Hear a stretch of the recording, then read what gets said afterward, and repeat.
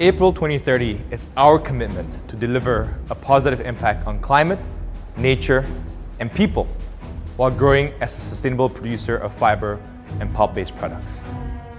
By 2030, we will achieve net zero carbon emissions from all our land use, positive and measurable gains in nature, and zero extreme poverty in our communities, and positioning our business for sustainable growth for the next 10 years. With the COVID-19 pandemic, investment in nature, climate, and sustainable development assumes even a greater urgency. Business has an opportunity, when seized decisively, to boldly transform the future for the better. And now is the time to take bold actions and support the Indonesian government in achieving its climate and development targets. Reflecting on the lessons of the past decade, we all know that addressing the greatest challenge of our time requires collective action on the ground. We need to harness our passion for advocacy and go beyond computer screens. We need to take actions now, learn from the challenges on the ground, and only then will we achieve lasting solutions with concrete and measurable results. There are moments in our history that we all would look back to and ask ourselves if we did what we should or could have done to alter humanity's course for the better. I feel this would be one such moment. We know we need to drastically improve our impact on climate, while at the same time achieve zero poverty.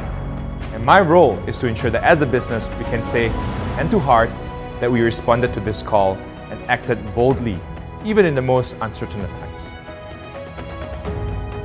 We've always been committed to using the best science, technology, operating practices, and producing the best products in the world. April 2030 is us doubling down on that, and our commitment and targets are ambitious, but also achievable. It's about making sure we keep contributing to Indonesia's development as well as being an active part of the global shift to a lower carbon economy. The time to be bold is now, and we must push forward, and we can't allow today's uncertainties to make us indecisive.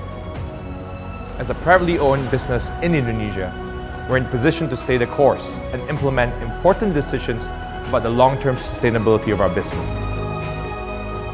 We know that climate change doesn't recognize any boundaries between developed and developing nations. Accelerated action has to be a joint responsibility, and that means we'll need to collaborate to achieve meaningful change.